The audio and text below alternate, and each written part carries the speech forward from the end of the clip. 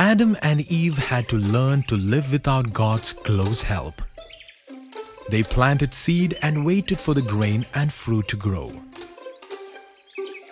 They built a house to protect them from the heat and the rain.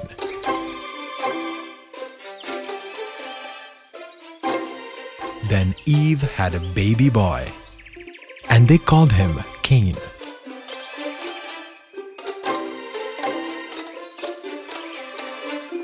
Later, Eve had another son and she called him Abel. He also grew strong, but instead of working in the fields, he became a shepherd. They looked after the animals that Adam and Eve had kept for milk and wool. Finally, everything seemed to be going well. Both sons washed and prepared their food. Hi, Cain. What are you doing with all that food? Some is for dinner and some is for God. Ah, now that's a very good idea. And just what God would like you to do.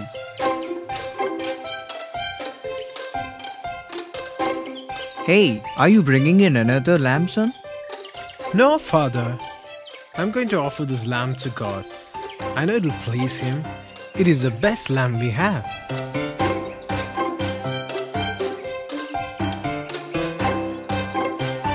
You know, we have two good sons. They have both taken the best of their efforts to give to God. It will surely make God happy. The boys are at home now, preparing the food. All will be well. Why should God get all the best fruit and vegetables? Surely He would not resent us having some. This fruit took me months to grow. Are we having lamb for dinner, little brother? No, Cain. I'm preparing it for God. It is my best young lamb. Why do you copy me? I have collected the best of my harvest to give to God. You give him your offering another time. Let me have the honor this time. I can't do that, Cain. The meat must be prepared straight away. Otherwise, it'll go bad. I think God will be happy to get both offerings. That way, God can have it all. All right then, but I think God would prefer my offering. Abel wanted to give his best young lamb to God, but Cain did not want God to have all the best crops. And God accepted Abel's offering.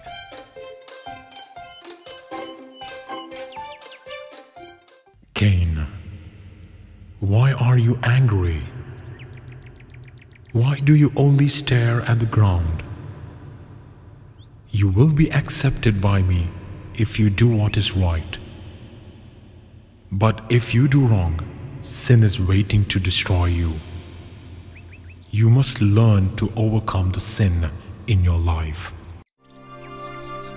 But Abel could not control his anger and was about to commit a sin.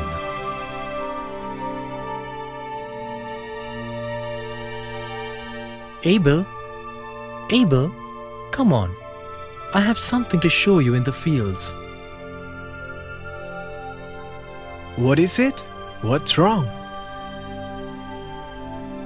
Come quietly. Don't wake mother and father. Come and I'll show you.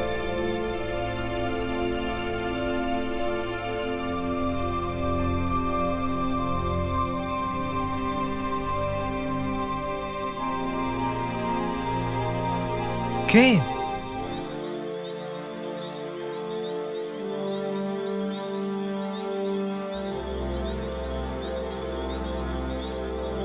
Cain.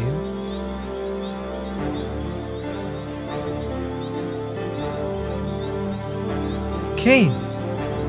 Cain, where are you? Cain. Cain. Not too easy, is it? Growing all this food for the family? Not like just sitting on a hillside watching some sheep and goats? This takes hard work. It's worth much more than your lamb. Cain, where are you? Ah!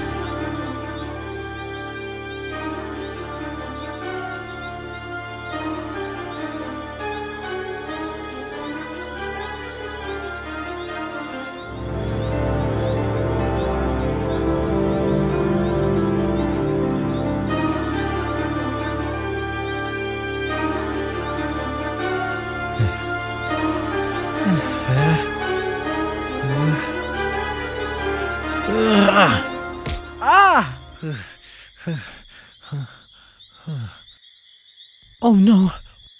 What have I done? Ah!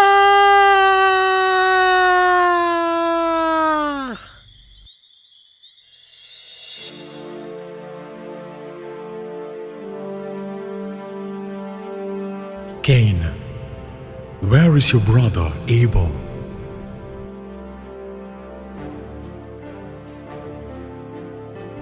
I don't know. Do I have to take care of my brother all the time? Cain, what have you done? Listen, your brother's blood cries out to me from the ground. Now you are under a curse. Oh, oh God. This ground is soaked with your brother's blood. You will no longer be able to grow plentiful crops in the ground. You will be a homeless wanderer for the rest of your life. Oh, God, your punishment is more than I can accept. You are driving me from my land and family. I will be hated from your presence. I will wander for the rest of my life, never finding rest. And anyone who finds me will kill me. Cain, no one will harm you. I will put a mark on you. Anyone who kills you will suffer your punishment seven times over. Ah. Cain left Adam and Eve and the presence of God. He wandered to the land of Nod.